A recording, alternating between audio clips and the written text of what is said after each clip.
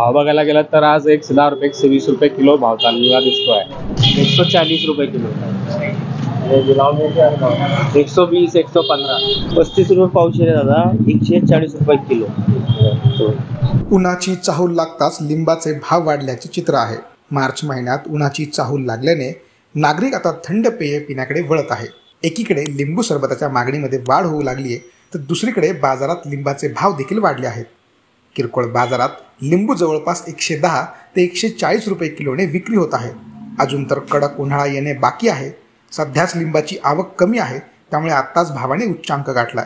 भाव बघायला गेलं तर आज एकशे दहा रुपये एकशे वीस रुपये किलो भाव चाललेला दिसतोय. आता यांना विचारल्यानंतर त्यांनी पस्तीस रुपये पाऊस दिलेला आहे. पण काय येणारा काळ जो आहे त्या काळामध्ये उन्हाळा चालू होणार आहे. उन्हाळा चालू झाल्यानंतर त्याचे भाव किती होतील काय होतील हे आपण सांगू नाही शकत.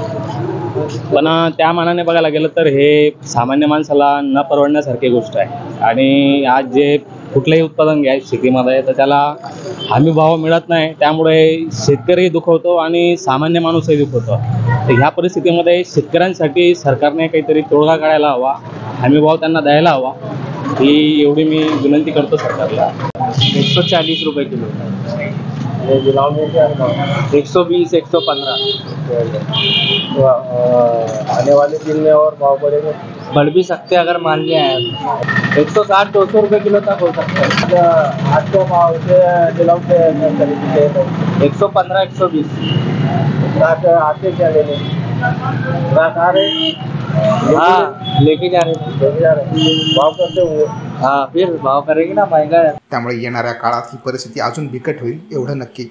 मात्र सध्या तरी वाढलेल्या भावामुळे सामान्य नागरिकांना लिंबू घेणे परवडत नाही हेही तितकंच खरं. आपण आता लिंबू घेत होते. हा. तर काय घेतले का?